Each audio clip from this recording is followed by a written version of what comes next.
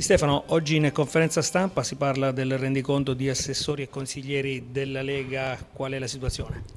Beh sì, noi abbiamo avuto tutta una serie di, di, presentazioni dei candidati nuovi che per la prima volta affrontano queste elezioni in quota Lega. Eh, oggi, appena entrati nel vivo della campagna elettorale, invece facciamo il rendiconto di quelli che i consiglieri e gli assessori della Lega hanno prodotto in questi anni. E credo che sia un rendiconto lusinghiero di cui io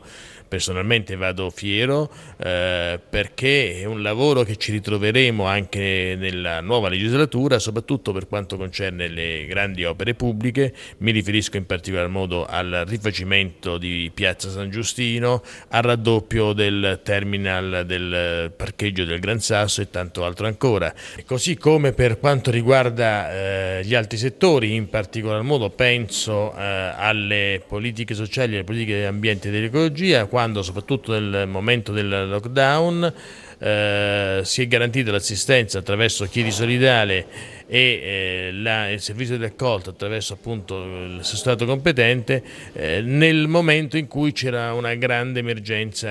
eh, quella del coronavirus. Eh, di questo tutti ne hanno parlato come efficienza e capacità di dare risposte, così come eh, efficienza e capacità di risposte si sono, stati, si sono verificati anche per quelle iniziative, penso a quelle in particolar modo per il mondo degli animali che sono stato messo eh, in piedi dal consigliere Di Paolo e dall'assessore Bevilacqua riguardo riguardante la programmazione di un cimitero di anemme d'affezione e tutta una serie di interventi per eh, la politica de, de, degli amici dell'uomo eh, che a Chiedi in particolar modo sono particolarmente amati.